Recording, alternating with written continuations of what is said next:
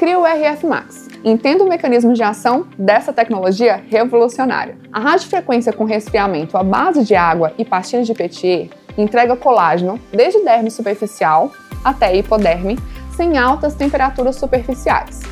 O frio externo tensiona o tecido por vasoconstrição, enquanto internamente ocorre vasodilatação, melhorando a oxigenação. O calor sobre a proteína colágena causa sua contração inicial, promovendo um efeito lifting.